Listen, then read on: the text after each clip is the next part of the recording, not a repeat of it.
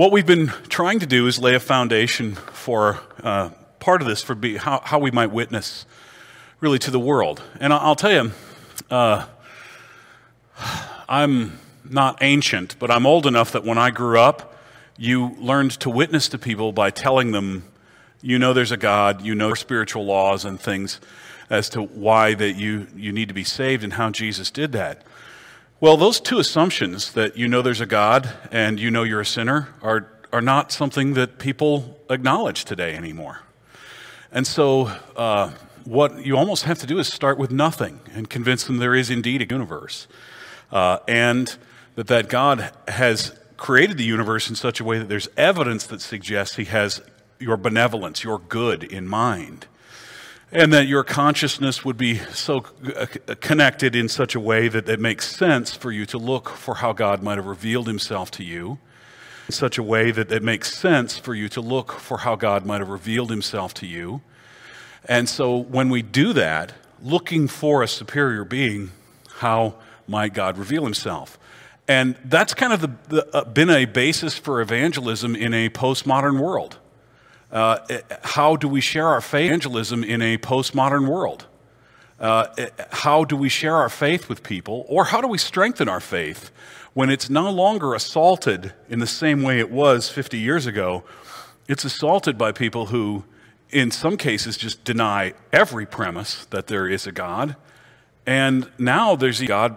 Why should I? Why do I care? You know, it's and so it's it's it, it changes a little bit as we want to share our faith with our grandkids or our neighbors. So I hope you've uh, appreciated at least the approach here. We began, is it reasonable to believe in God? And then last week, I guess it was two weeks ago, we kind of developed this revelation. Is, does revelation make sense? Um, I have a photo to show you if I can. This is uh, from Raphael's School of Athens, from the Italian Renaissance. The character over here, uh oh, that's not what I wanted to do. Yeah. Uh oh, that's not what I wanted to do. Yeah, now I've now I've really done it. Okay, there we go. That was the wrong one. I'm trying to get the uh, laser pointer. There we go. This is Plato, and this is Aristotle. Okay, one of the things that you are drawn to in one of the things that you are drawn to in this painting is, uh, by the way, if you, if you look this up, you'll see all of the classical, and, and if you want to find one that enumerates who's who, because all the great philosophers, thinkers, and scientists of the classical era are painted here, even though, so it's like, it's like a class photo of all the great philosophers that never got together. But one of the things that you'll see is Plato with his hand pointing upward. Because as we talked about, Plato believed in divine things. He was weird about his divinity, and I do not suggest anyone follow his doctrine, but he hated that there were divine forms, divine shapes. He thought the key to knowledge was beginning with the divine. Take a look at Aristotle. His gesture is more like this this is about science, what we can observe, what we can know around us. And the two of them, what, what has happened in our world the idea that it's built on and even confined only to those things that we can see and know around us. And what we, what we needed to do by talking about Revelation was be able to argue or at least convince people that it makes sense, like Plato, to look outside for things. That this back the origin of the universe, we come to a point where there is no before.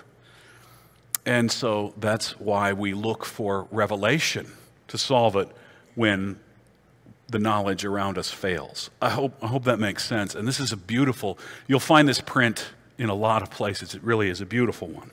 Find this print in a lot of places. It really is a beautiful one. So that's kind of a review thus far. We, we've suggested that inference, uh, evidence from the universe around us gives us a good reason to believe in God. That's session one, we talked about that. That the um, inference from creation gives us um, inference from creation gives us clues as to the nature of God. You Remember that Romans told us that that would be the, the case. That there are things about the nature of God that are actually revealed in just the scientific evidence that we can find in our own creation, the intricacy in how we are made in our DNA and the molecules and things like that.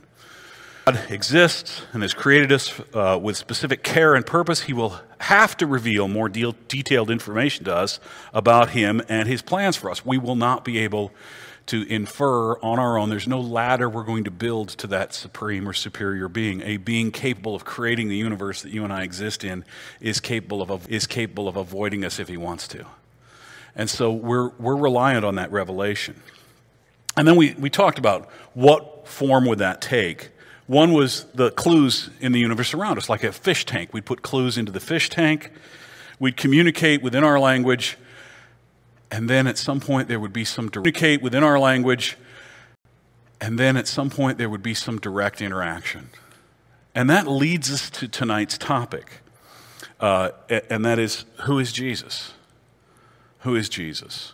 And, and the reason that we are settling in on that is that is the direct, the direct interaction of God into this universe. Um, these are the things that we can deduce with just the Aristotelian knowledge. And even though that doesn't prove it, it is more than coincidental that that makes sense. So, as a book of Revelation, the Bible meets that criteria. And it also explains things we talked a few about last week. It explains things like the nature of human sin. It explains the, the problems we have with morality. It, it, it, it prophecies that would be the. So, uh, this is uh, Michelangelo. And uh, this is on the ceiling of the Sistine Chapel. It's. Uh, it's important to notice this. You've, you, this is one of the most famous frescoes in the world, stretching to connect with man. Man's hand is portrayed by Michelangelo as the lazy one on the left, not quite as enthusiastic about reaching. So, this is the nature of revelation, the direct interaction that God has had in man. And I will assert has taken the form of a person in the name of Jesus Christ. The Bible says this in Hebrews chapter 1. In the past, God spoke to our forefathers uh, through the prophets at many times and at various ways, but in these last days, He's spoken to us by His Son, whom He appointed heir of all things, and through whom He made the universe. So that's exact verse that declares the glory of God, direct communication with prophets, but finally, the Son. The Son is the radiance of God's glory and the exact representation of his being, sustaining all things by the powerful world, word. After he provided purification for sin, he sat down at the right hand of majesty in heaven. Majesty in heaven. So this is what I believe we're going to we're going to investigate tonight. Who is Jesus? We've led to the point where Jesus is the ultimate revelation of God. But what if you don't believe that? What if your neighbor or your friend doesn't believe that? As a matter of fact, uh, I grew up, or your friend doesn't believe that. As a matter of fact, uh, I grew. I remember having a professor who said that I'm not. He was. He said to me, "quote I'm not even sure Jesus ever really lived, uh, because outside the Bible, there's no evidence for him." I didn't know enough to answer him then, but enough to answer him then, but that's not true at all.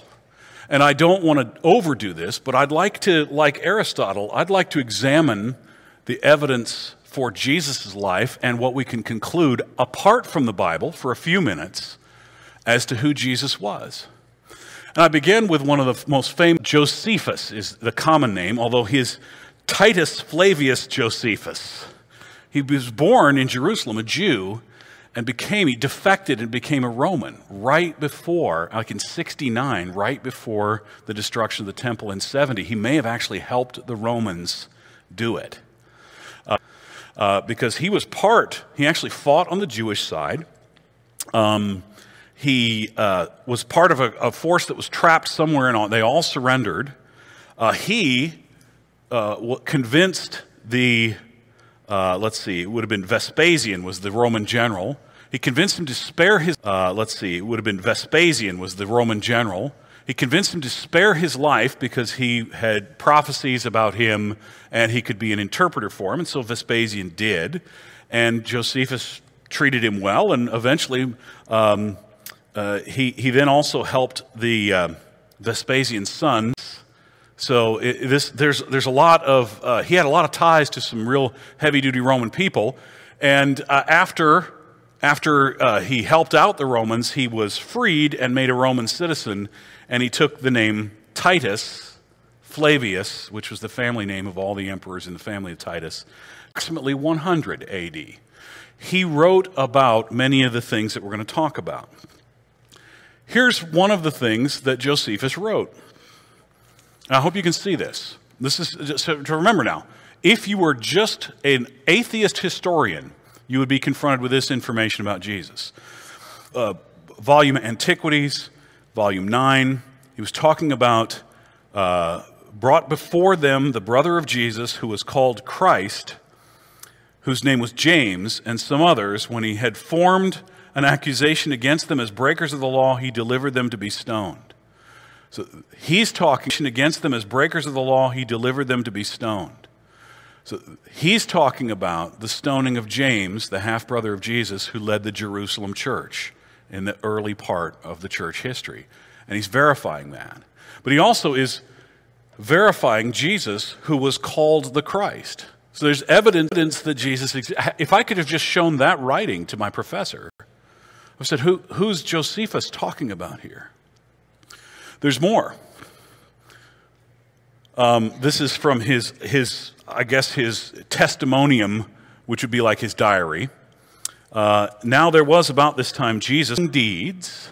Josephus is writing this. Josephus is no friend of the Christian church here. Um, a teacher of such men has received truth with pleasure. Think about that for a minute. A Teacher of such men who received truth. So he's a teacher of wise men uh, and he gained a, uh, and he gained a following both among many Jews and many of the Greek uh, of Greek origin. And when Pilate, so there's Pontius Pilate who enters into this, right? When Pilate, at the suggestion of the principal men amongst us, among the Jews, condemned him to the us among the Jews, condemned him to the cross. These are elements of Christ's life that are being verified by an external historian. Uh, those that loved him at the first did not forsake him, and the tribe of Christians, so named from him, are not extinct at this. Of Christians, so named from him, are not extinct at this day. There's a lot in there, isn't there? I mean, if, if, if you could show that to someone who doesn't believe in Jesus, they, they are going to be confronted with some central points of Christian doctrine. Jesus lived he had he performed startling deeds. He was he had he performed startling deeds. He was sentenced to die on a Roman cross, uh, and he was not forsaken after that by his followers. They uh, and the followers have grown to this day. that makes sense? I, I, I, hope you find that interesting. Let me move on. To, uh, this is Tacitus. I tried to get, you know, uh, like Facebook pictures of them. There, there really aren't. So uh, the historian Tacitus went by Publius Cornelius Tacitus, of course. We all need three good uh, Latin names. I think we should. That could be like a class contest to come up with Wade, you know, something. I don't know. Uh, he was a senator. And he was, he's most renowned as one of the famous historians. That's what he really did. And he lived at a time uh, between 56 and 120 approximately AD. There's a lot going on in the Roman Empire. So if you want the history of the is your best source for that. This is uh, what he wrote about Jesus. Christus, Christus, the founder of the Christian name, was put to death by Pontius Pilate, procur- procurator of Judea in the reign of Tiberius. But the pernicious superstition repressed for a where the mischief originated, but through the city of Rome also. And this is dated 116. So within 100 years of the death and resurrection of Jesus, a non Christian historian is marking some pretty important doctrines of the Christian faith. Does, I mean, can I stop for a minute? Are you faith? Does, I mean, can I stop for a minute? Are you picking up on this? I hope so, because this is really important. Look at what he details for us Pontius Pilate, Judea, under Tiberius. So this coincides with all the times and dates we're told in the Bible. In the Bible. Pernicious superstition, repressed for a time, broke out again. Now, he's not saying it, but the, the, the belief later is that Jesus was, was rose, risen back to life. That's the pernicious superstition he's talking about. It, and it, it was, they, I, I might welcome you, pernicious, mischievous people, next Sunday. That's what we were to the Roman Empire at the time. But it didn't, it didn't just start there, it spread, and it started to spread throughout the world, and it made its way to Rome by 116 AD. Again, this follows what we would believe. I hope this makes sense. I just liked his name. He really didn't say anything of value whatsoever. But this was interesting to me because he ver- verified a fact that is, uh, that is directly from the book of Acts. He was writing of the Emperor Claudius. By the way, there was a very interesting year where Rome had four emperors. By the way, there was a very interesting year where Rome had four emperors. And many of the historians, like Suetonius, became famous because they were close to that. A lot of things going on, obviously, politically and he wrote about that. And in his writings of one of those emperors, Claudius, he expelled from Rome the Jews about that. And in his writings of one of those emperors, Claudius, he expelled from Rome the Jews, constantly making disturbances, disturbances at the instigation of Christus. Okay? So, in other words, the, the, the Jews that had become Christians is what he's talking about. Acts chapter 18, verses 1 and 2. Look at this. After this, Paul left Athens and went to Corinth. There he had met a Jew named Aquila, a native of Pontus, who had recently come from Italy with his wife Priscilla because Claudius had ordered all the Jews to leave Rome. Paul went to see them. This is not the only fact, this is a of other things we can find verified in the Bible. Questions? Does that make sense? Here's, here's one that um, may not prove a whole lot to us, but um, a guy named Mara Bar Seraphim or Serapion. I, am not sure if I'm pronouncing that correct. By the way, Bar means son, and he wrote a letter to his son who was named Serapion, so it was kind of hard to keep these guys straight. But so the Mara is the guy who was a Stoic philosopher in the province of Syria. He wrote this letter uh, to his son, and it's been accurately dated to have been written in 73 AD. What he's telling his son started the rebellion, never quashed the rebellion. And he gives the example of Christians at the end. So listen, uh, I'll try and read this to you. What advantage did the Athenians gain from murdering Socrates? Famine and plague came upon them as a punishment for their crime. What advantage did the men of Samos gain from burning Pythagoras and was covered with sand? It was just after that their kingdom was abolished. God justly avenged these three wise men. The Athenians died of hunger, the Samians were overwhelmed by the sea, and the Jews, desolate and driven from their own kingdom, live in complete dispersion. Because of Plato, neither is Pythagoras because of the statue of Juno, nor is the wise king because of the new law he laid down. He's talking about the fact that they tried to suppress the rebellion of the Christians by killing the wise king, his reference to Jesus, but his new law, Christians, by killing the wise king, his reference to Jesus, but his new law, the new command I give unto you, survived to this day. I think that's beautiful, don't you? So if, if you're in a argument, discussion with an atheist, that argument, discussion with an atheist that does not want you to use the Bible, pull out these sources. Tell them to go look some of these up. Maybe the best, which I think is the last one, because I, I, don't want to bore you with these, but uh, these are some of the best. This is Pliny, who was a Roman governor, Turkey, and he's sometimes referred to as Pliny the Younger, which I, I guess infers that there would have been a Pliny the Elder, right? So uh, he wrote a letter to the emperor Trajan at the time. Uh, it would have been 112 AD when Trajan was emperor, and he was having people conducting trials for people that were Christians, and he didn't know what to do. So he wrote to Trajan, and Trajan wrote back. And it's really interesting. You can gain a lot of insight into the Christian church. So here's his letter written to Trajan. He says, Meanwhile, in the case of those who were denounced to me as Christians, he says, Meanwhile, in the case of those who were denounced to me as Christians, I have followed the following procedure. I interrogated them as to whether they were Christians.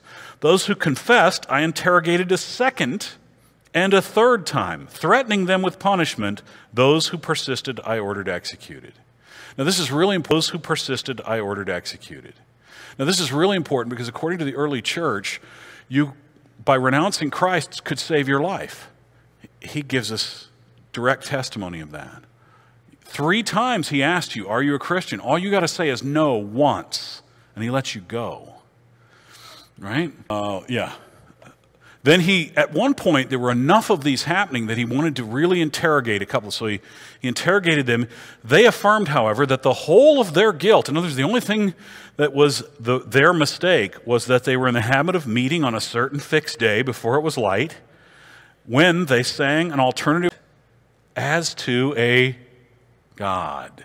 You see the deity of Jesus being established there among Christian followers? That's beautiful. Uh, and bound themselves to a solemn oath not to any wicked deeds, but never to commit any fraud, theft, adultery, never to falsify their word, not to deny a trust. This is what he squeezed out of two ladies before he had to kill them because they wouldn't deny they were Christians. That's all they were guilty of. Isn't that interesting? And now, the major doctrinal thing that establishes is that Christians believed Jesus was God.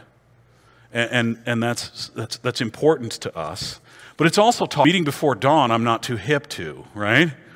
But the idea of meeting and singing songs, sharing a meal, making vows to be better people in how we represent Jesus to people, that doesn't save us, but it's part of what the church has been doing for 2,000 years. And we didn't read any of that from our Bible. 2,000 years. And we didn't read any of that from our Bible. I can assure there's plenty of that in your Bible. But the reason I like showing you this is the question of who is Jesus is something the world desperately needs to know. And the minute you pick up your Bible and begin reading from it, you're suspect. And begin reading from it, you're suspect. And, and I think sometimes, sometimes it might be better to start with some secular sources. Read what this guy Pliny said about Christians, and, uh, or read what this guy said about that. I've found that occasionally that's very disarming. It certainly takes away the argument I faced as a young man. It certainly takes away the argument I faced as a young man that Jesus may never have even existed. See, nobody's talking about that now after reading this. As a matter of fact, what you now get to talk about is what, what, what, what let's see what we can learn about the nature of Jesus just from these things we've read. And that's what I'd like to talk about. What I'd like to talk about. What can we learn about the nature of Jesus? Well, the, you get the testimony to his existence and his brother James and, and verifying some of the early church. I like the fact that you get a testimony to the fact that he was doer of startling deeds. I like this. Some of this terminology I wish I should adopt on Sunday, and then just, especially the pernicious mischief that, that Milo's up to, right? He was a a teacher of truth seeking men, right? That, that, that's a beautiful term for that. He gained a large following when he was alive. That's testified to, because obviously it was a large following, and, and it, it, Pilate condemned Jesus to die on a cross. That Jesus established a new law that survived and even grew after his death. Those are things you could learn about Jesus from just those writings. Does that make sense? So I guess my point is, you know, I think it makes sense for us to look to revelation from God, but if you if you're dealing with somebody that doesn't want to do that, I hope this secures your faith a little bit. And the reason that we that's, that's another part of why we call this basic training. Because when something terrible happens in your life, and you want to know that this is all real, and you're on your knees before the Lord, it's really important to have some of this background knowledge that says, yes, this is real. This game we're playing. There's a real creator of the universe. He really loves you. And he really came in the man named Jesus, just as we read about every Sunday in our Bible. Amen? Okay. Questions? You guys just stunned right now? Is that the deal? Let, let me move on a little bit because I think there's other things that you. Is that the deal? Let, let me move on a little bit because I think there's other things that you can infer just about Christianity in general from this. One of the things we get is testimony to how James died, verifying what was written uh, in, in church history. ver- historical verification of dozens of facts from the dozens of facts from the book of Acts. One specifically, we looked into chapter 18. We get something here that the early Christians chose death rather than renounce Jesus or worship other gods. I, I got to tell you something. I mean, you hear stories of Columbine where a young lady is, is asked, you know, are you a Christian and, and, and life and death? You know, and I wonder, you know, I really do. I'm just, just trying to be, shoot it completely straight with you. I wonder if I'd have the courage in that moment to say the same thing. I, I wonder. I'm, I'm a frail and fallible human being. You put a gun in my face, who knows what I'd confess? These early believers three times had the chance to get off the hook. Lots of time to think about it. They never did. Yeah. Uh, it's a good question. Uh, the question was Did James die along with Jesus? James is the half brother of Jesus. He wrote this book of James. He was made the leader of the church in Jerusalem, which was the largest, and it's where things were starting for a long time. In Jerusalem, which was the largest, and it's where things were starting for a long time. He was martyred. He's among the earliest martyrs for his faith. As soon as they discovered he was the leader of the church there, the Romans rounded him up and had him stoned to death. And I think the question as to whether the Romans or the Jews did it is, is one that we could debate. But does that one that we could debate? But does that that's James that we're talking about here? Uh, does that, does that make sense? There was also a James that was one of the disciples, one of the uh, apostles, and that's, that's a little bit confusing. He also was martyred for his faith. Uh, he was the brother of John, who lived the longest of all of the 12 apostles. Okay? Uh, they practiced, the practice involved meals and oaths to more moral living, right? We, we know that. Those who loved Jesus remained loyal in death. Jesus' following grew after his death. All these people testified to that. And the belief that Jesus came back to life, came back to life persists. That pernicious thing just kept, kept going on. So without touching your Bible, that's what the history the atheist history of the world tells you about Jesus. Did you know that was that much history about Jesus? Because I think sometimes we buy into this lie. Because I think sometimes we buy into this lie that it's all the Bible and the Bible was just written by people. And, it, you know, there's, it's a very historical document, and outside sources prove it every day, as well as archaeology. So there's a couple of other observations I would make, even though they weren't in those writings but they're things that we can infer based upon the fact that we've observed history. And one of them is that the Christian movement grew in a hostile environment. I mean, we got a couple of Roman governors talking about how they're killing and interrogating Christians, and we've got Jewish people that are talked about the pernicious movement. So that's not how typically movements grow. If someone's trying to say that Christianity was just a false movement of the, it wouldn't have grown or taken seed in the soil that it was planted in. Right? Neither Jews nor Romans were friendly to Christians. Early Christians held Jesus as God. This is really an important, important doctrine. He was not just a good teacher. Otherwise, they would have had no problem swearing allegiance to another God to save their own life. Would they? Right? I mean, seriously, I want you to think about that. If you're one of these Christians that Tacitus is, is questioning and you don't think Jesus is really God, you're not going to die. Right? Is really God? You're not going to die. Right? I, mean, I like you, Wade, but I'm not going to die for you. I don't think you're really God, right? And this is why James, the half brother of Jesus, what, any of you have brothers and sisters? I have two sisters. Do you know what it would take to convince me that one of them was divine? Only them rising from Right? I, I, so it really is a very powerful thing. There's something else that I will I'll assert here, and that Jesus' tomb was empty. I, how it got empty is something that you and your neighbors can talk about, but there's no way this movement persists, this pernicious superstone, and say, You mean that dead guy there is the one you're following? So Jesus' tomb had to have been empty, or absolutely no such belief in his resurrection or deity could have spread. And even secular historians acknowledge yes, the tomb was probably empty. They believe it was a plot empty. They believe it was a plot that someone else would have moved it. You know, I, we can talk about that if you want. I mean, like if Peter and John moved the body, why would Peter die for that? For a lie that he created. And what did he get out of it? Fame? No, imprisoned. And what did he get out of it? Fame? No, imprisonment and death, right? John had a lifetime of that kind of harassment as well. So I don't know why, uh, but it, the, the, the rumor persists that the, the tomb was emptied by someone.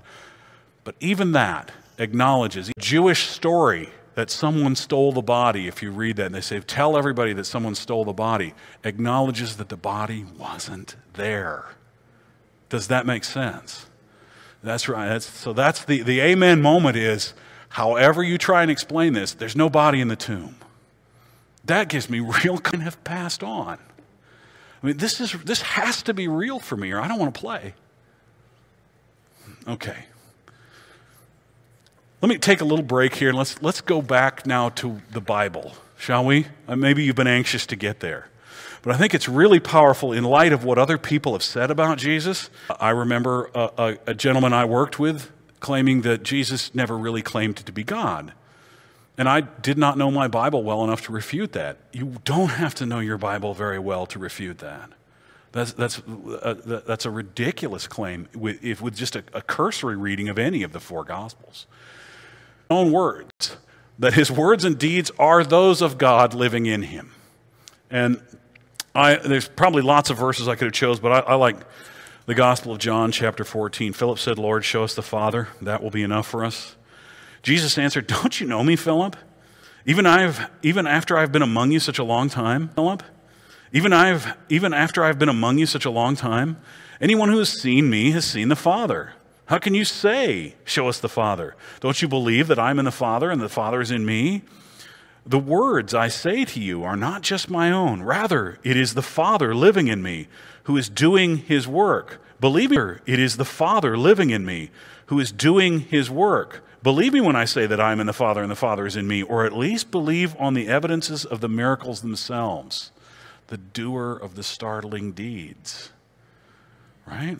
So Jesus claimed that he was in the Father and the Father, he, I and the Father are one. About his words and deeds that would be those of God himself. This one's a short one. Heaven and earth will pass away, but my words will never pass away. Can you just imagine if I stood up here some Sunday and said something like that? You, you should laugh if a mere mortal said something like that. Even the President of the United States would not have the gall to say, will never pass away the condition at the front of that is just, it's laughable. In other words, at the destruction of all the universe and everything that you can see and know, my words are still going to remain. That, if that isn't a claim to be God, I just don't know what is. It's one of the most stunning ones that I know, and it's pretty succinct. Jesus also, Jesus also made promises that only God can make.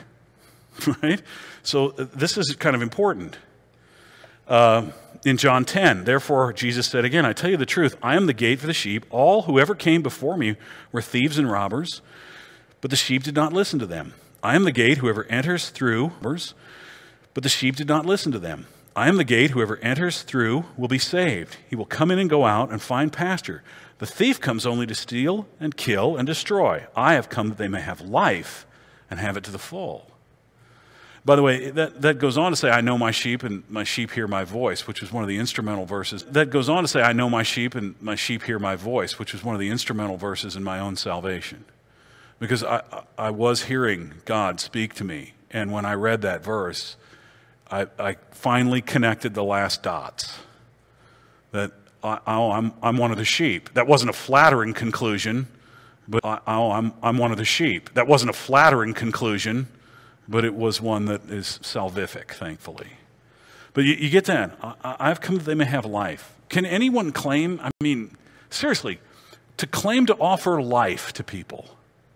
That, that, that's, you know, to offer, it, it's knowledge once a week, or interpretation, or, or my spin on, on Bible verses. Can you imagine the hubris of someone that claims to offer life? That's, that's outrageous. Or, or it's true. He made promises that only God can make to say to the paralytic, Your sins are forgiven, or to say, Get up and take your mat and walk. This is Mark chapter 2, right? But that you may know that the Son of Man has authority on earth to forgive sins, he said to the paralytic, I tell you, get up, take your mat, and go home. He got up, took his mat, and walked out in full view of them all. They praised God, saying, We've never seen anything like this. In, in other words, I'm healing this guy, but you might just think that that's some special healing that I'm doing here on earth. I want you to know that this healing is a simple sign that I have authority to do more that you cannot see. A promise only God can make. You know, Neil, if you did something uh, uh, against Patty and I, I forgave you instead of Patty forgiving you, Patty would be outraged right? I, how could I possibly forgive you of your sin unless somehow I'm also Patty's, unless somehow I'm also Patty's creator as well. And when David says, Against you and you alone have I sinned, he, he, he's telling us this all, is all tears up to a creator of all of our souls, a lover of all of our souls. And when Jesus says, I forgive you of all of our souls. And when Jesus says, I forgive you of your sin, it's because, first of all, he can. Uh, and, and he proves that because he does something on earth as it is in heaven. Right? Isn't that beautiful? I love this. We could do this all night, I suppose. He, and my sheep listen to my voice. I know them and they follow me. I give them eternal life and they shall never perish. No one can snatch them out of my hand. My Father who has given them to me is greater than all. No one can snatch them out of my Father's hand. I and the Father are one. If he isn't God, somebody should tell him. Right? And, and I think, you know, uh, th- th- this leads, well, I guess I have another one. I don't want to. I don't want to bore you too many with these.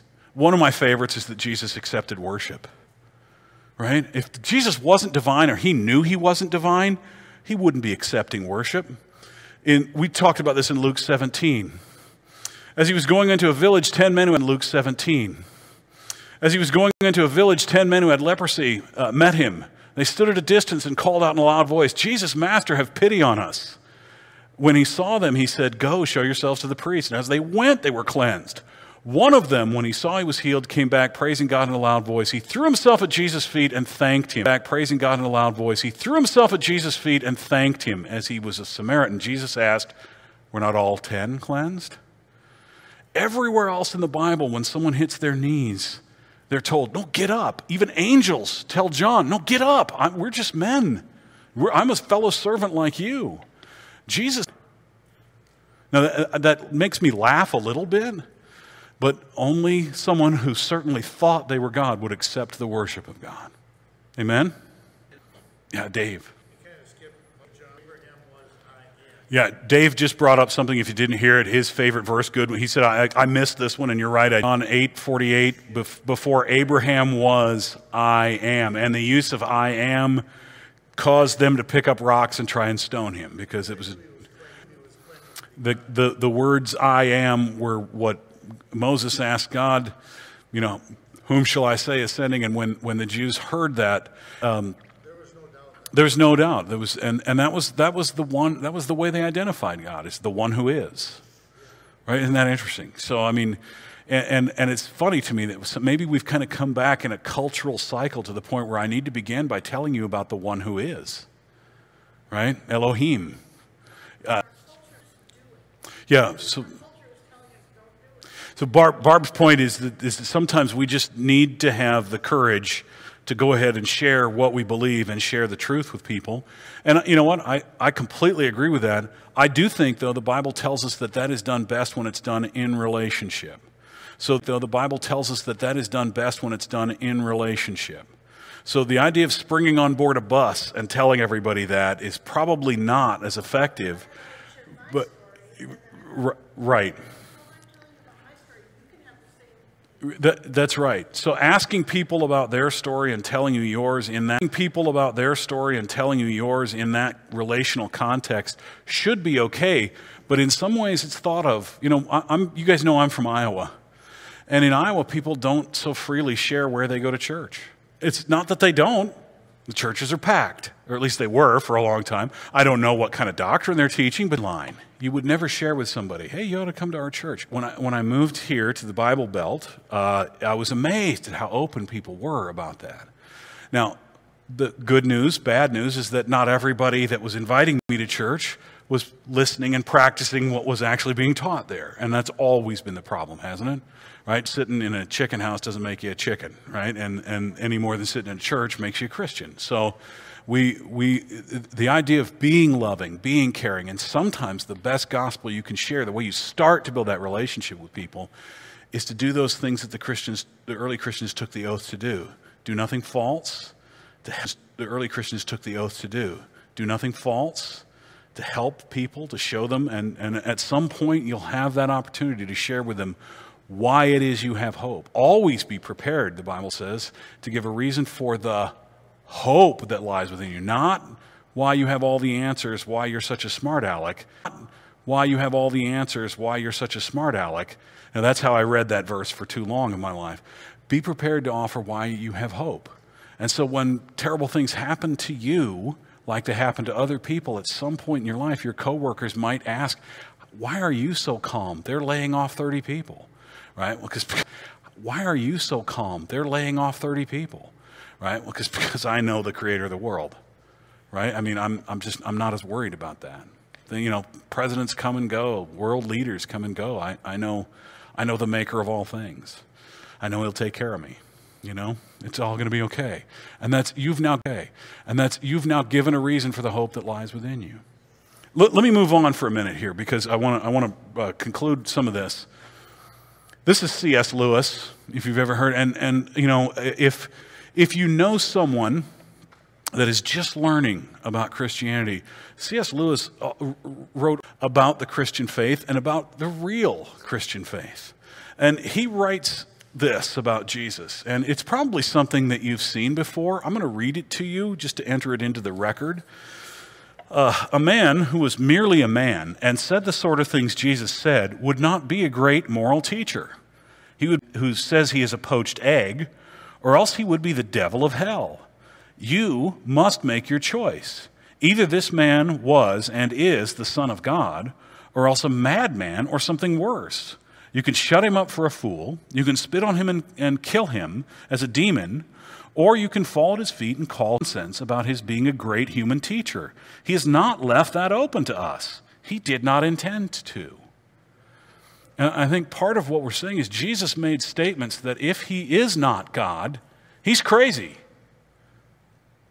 And we need to acknowledge that. Saying, you know, things like, I and the Father are one, you know, I, I forgive you of your sins. So, the, the, one of the things that, that we say this, I don't mean this to be confrontational, but in a world where people like to walk around and say, well, I believe Jesus was this or I believe Jesus was that, you know, uh, uh, at some point they really have not applied their brain well enough to those to the facts have not applied their brain well enough to those to the facts about Jesus. Because the facts about Jesus don't leave open middle ground and unfortunately when, when christ says you're either with me or for me or against me this is kind of what he means if you think about what he said and by the way i don't even think you have to what he said and by the way, I don't even think you have to take what he said in the Bible. I think just the, the other historians that wrote about him, you have to either accept him as one or the other, right? And that there have been a book was written called Liar, Lunatic, or Lord, among the same thing. It, it's, there's, there's only a few options that you've got there. The same thing. It, it's, there's, there's only a few options that you've got there. Okay, I'm going to move quickly through what some of the disciples said about Jesus. Um, and uh, the gospel writer John said this John spent the most time with Jesus, he was among the earliest disciples. Um, and he wrote this In the beginning was the Word, and the Word was God, and the word, uh, the word was with God, and the Word was God. He was with God in the beginning. Through him all things were made. Without him nothing was made that has been made. The Word became flesh and made the glory of the one and only who came from the Father, full of grace and truth. And that, that's such a powerful statement. Uh, what he's saying there is a really, really interesting thought. And I want to share with you an, an analogy that might help you get this a little bit. Get or know who Kurt Vonnegut is. I can't really recommend him as an author.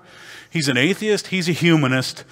Uh, he, he wrote more science fiction, but there's some things clever about his writing, okay? So uh, he, he, he was, you know, uh, renowned. That's a picture of him on the right. He wrote a book called Breakfast of Champions. One of the characters, at one point in this book, Breakfast of Champions, I, I, do any, have any of you, I mean, I just, it's not embarrassing in church to admit you've read a Kurt Vonnegut novel, okay? So you've read some Vonnegut. Have you, did, have you actually read Breakfast of Champions or Moment? He was in the Battle of the Bulge. He was captured for a time and he was released. He served his country. I'm not trying to make him out to be a, a total evil guy, although he was, in the end, more of an atheist and his, his fate is in the hands of the Lord. I want to read to you a little bit of an essay that was written about this book for just a minute. Science fiction novelist Kurt Vonnegut once said of one of his most character I ever created who had enough imagination to suspect that he might be the creation of another human being. So he's writing about one of the characters in one of his novels that was clever enough to suspect that he might be a character in a novel. He had spoken of this possibility several times to his parakeet. That's Trout, apparently. The parakeet. That's Trout, apparently. The Kilgore Trout is the character that had spoken to his parakeet about the fact that, you know, I might just be a character in somebody else's novel. In a scene from the book Breakfast of Champions, Kilgore Trout's haunting suspicion is unveiled before him. Sitting content at the bar, Kilgore is suddenly is unveiled before him. Sitting content at the bar, Kilgore is suddenly overwhelmed by someone or something that has entered the room. Beginning to sweat, he becomes uncomfortably aware of a presence far greater than himself. This is from his book, Breakfast for Champions. The author himself and himself. This is from his book, Breakfast for Champions. The author himself, Kurt Vonnegut, has stepped beyond the role of narrator and into the book itself. The effect is as bizarre for Kilgore as it is for the readers. When the author of the book steps into the novel, fiction is lost within a higher reality. And Kilgore, the novel, fiction is lost within a higher reality. And Kilgore senses the world as he knows it is collapsing. In fact, this was the author's intent. Vonnegut has placed himself in Kilgore's world for no other reason than to explain to Kilgore face to face that the very tiresome bed was, in fact, all due to the pen and whims of an author. In this twisted ending, no doubt illustrative of Vonnegut's own humanism, Kilgore is forced to conclude that apart from the imagination of the author, he does not exist. Ironically, he also must come to terms with the fact that, uh, that, it, has, it, that it is because of ridiculous. Uh, the reason I bring this up is Vonnegut, who was a, a humanist and an atheist, creates a scene where the author himself steps into one of his own novels to interact with one of his characters. Bizarre, isn't it? That's what God has is Jesus. Jesus is the author come to interfere in a salvific way with his novel with his creation, planned well ahead of time. He's come here of his own volition and he stepped in and he has as a universe has stepped into it and offers a chance to talk to you and me. That is the person of jesus christ. I hope that makes sense. Again i wouldn't run out and buy breakfast of champions or read the book but i really think it's a fascinating suggestion and especially one from an author that does an ultimate God scene in one of his own novels. I hope that's as interesting to you as it always has been to me. Uh, there's a great essay written about that, and you know, talking about how uh, this is this is really. Uh, G.K. Chesterton says, "I've always felt life is first a story." To touch the story of our lives with a hand and a face in order that we might know Him and grasp that we are known. His is the story we're invited to see as our own. Uh, G.K. Chesterton, okay, Wade, let me quote that for the record. G.K. Chesterton said, if you don't believe in God, you'll believe in. Chesterton said, if you don't believe in God, you'll believe in anything. So I, I do think that there's a portion of that. Without having some transcendent anchoring to your morals, uh, even to truth, you eventually just basically are cutting off your rope that you eventually just basically are cutting off your rope that keeps you tied and moored to the shore and you float at the whim of whatever dominant thought you happen to have. Okay. Uh, gosh, I've got, I've got a lot more Bible quotes for you, but gosh, I've got, I've got a lot more Bible quotes for you, but um, let me skip many of those. I'll, I'll just tell you others where we hear about what the, the apostle said. Peter, uh, in 2 Peter first, uh, 1, uh, verse 1 and 16 through 18, talks about how we, uh, verse 1 and 16 through 18, talks about how we, we received honor and glory from God the Father, talking about who Jesus was. This is, he said, I was the one who heard the voice saying, This is the, the one I love, and I am well pleased with him. So Peter was there when he heard that. And he wrote, Philippians is written by Paul. Uh, he talks about your attitude should be the same as Christ Jesus. Paul also wrote in Colossians that he is the image of the invisible God. But I want to kind of maybe, oh, and also, for in Christ all the fullness of deity lives in bodily as a character in his own book with all of the independent thoughts and powers of the author. That's a character in his own book. Paul also wrote this, and I, I kind of maybe we'll make this our last um, as we kind of bring this to a close. Uh, in 1 Corinthians 15, verse for what I received, I passed on to you as of first importance that Christ died for our sins according to the Scriptures, that he was buried, that he was raised on the third day according to the Scriptures, and that he appeared to Peter and then to the twelve. After that, he appeared to more than 500 of the brothers at the same time. Some have fallen asleep. Then he appeared to James, then to all the apostles, and last of all, he appeared to me also as one abnormally born. And I think what's really interesting about this is there's an awful lot of basic Christian doctrine in this. As far as this is what I'm passing on, what I Christian doctrine in this, as far as this is what I'm passing on, what I've learned, well, this could not have developed before, you know, this, this Paul's probably writing this in the early 50s AD. 50 to 60, uh, 60 would be the latest. So you've got within a generation a latest.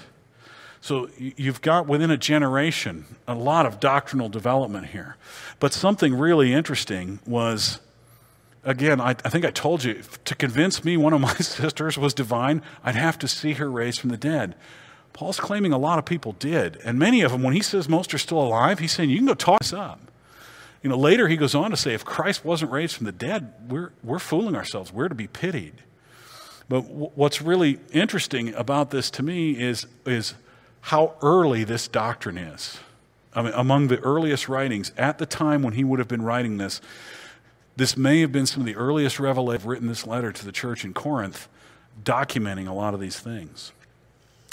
The, of the 12 apostles, of course, Judas hanged himself not long uh, after turning over Jesus of the 11 remaining, and if we add Paul back, that gets 11 remaining, and if we add Paul back, that gets us back to 12.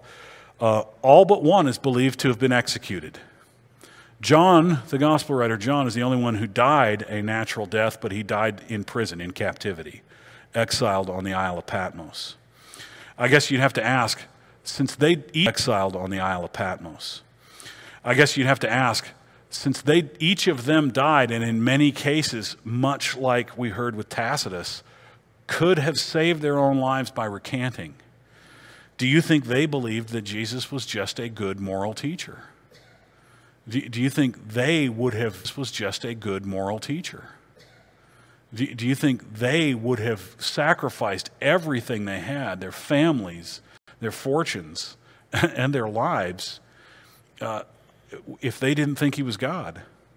And that's, I think that's, I think they not only believed he was God, they not only believed he was God, they believed they had seen him raised from the dead. And I find that testimony compelling. That, that, you know, if one person had deluded himself into thinking that, I'm not sure I'd be as compelled a follower. But when 12, and then 500, and then others to do so is having seen the risen Christ. So I, I will will leave on that writing because I think it's so important. It's one I go back to. I, I, hope we can be honest about the fact that we all have doubts from time to time. And people in our families have doubts. And you probably have people that go to other churches, their doubts. Yeah. Yeah. Um, Paul believed that all this was arranged ahead of time for him.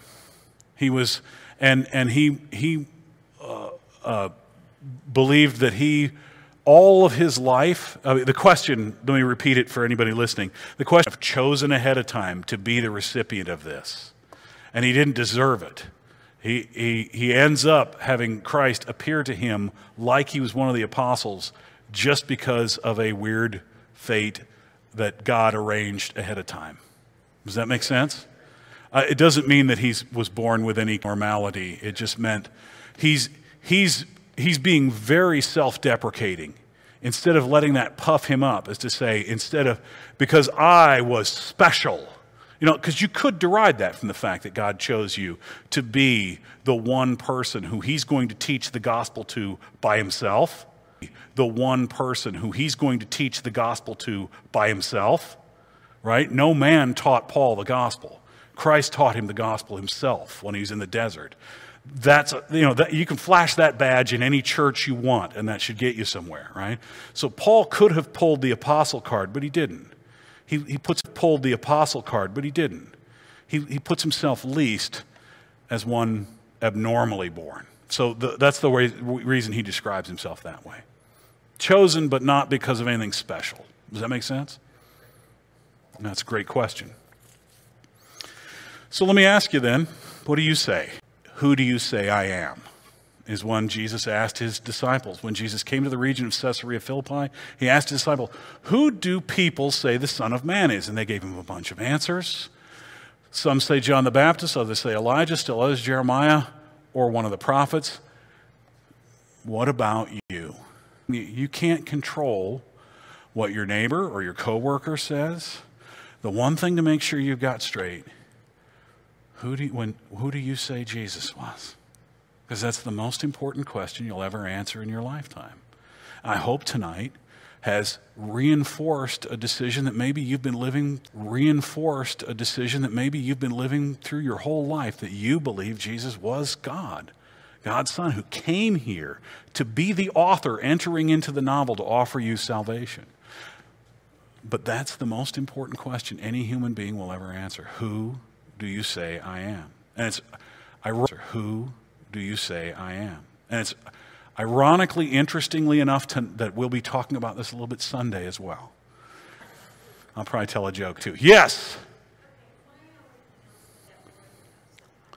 Uh, so the, the, the observation is that Paul's life, is that Paul's life, being such an opponent of Jesus early on, coming, actually kind of being dragging and kicking to salvation, right? If you read what happened on, on, on the, the road to Damascus, uh, Paul's life offers hope for others in our, for others in our sphere, loved ones that don't seem to be turning, that don't seem to be receptive. You know, Jesus does say to he who has ears, let him hear. And within that is an acknowledgement that is very real that we need to recognize, which is not everybody is hearing. Not everybody's tuned into this. I was not for a long time in my life. Resonate with me.